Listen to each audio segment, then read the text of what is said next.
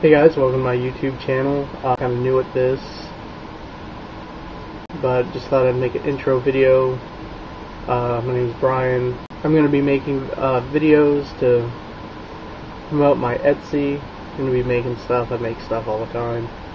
Generally pretty creative. I'm also going to be showing you uh, my collection. I have a huge nerd collection of everything.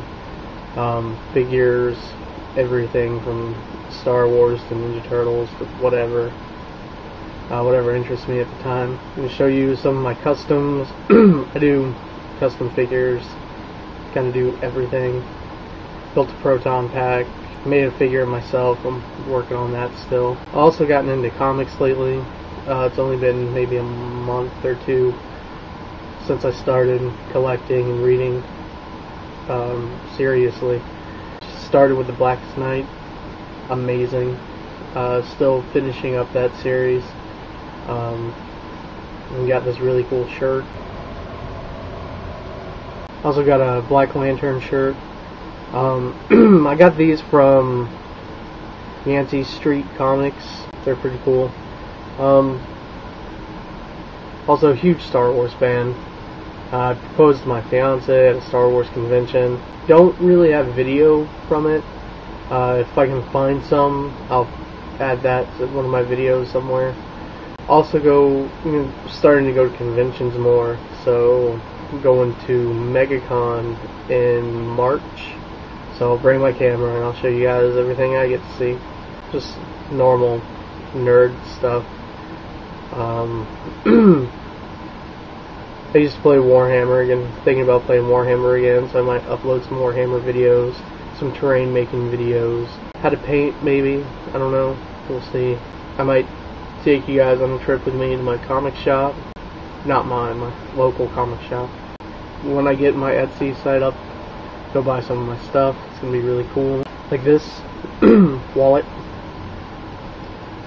this is just a first draft kind of thing comic book wallet made of pages of Ion comic pictures comics all the way through it. Don't know how much I'll sell it for. This one's not that good because around the borders tape's kind of bad. But uh, I'm working on it. Uh, it has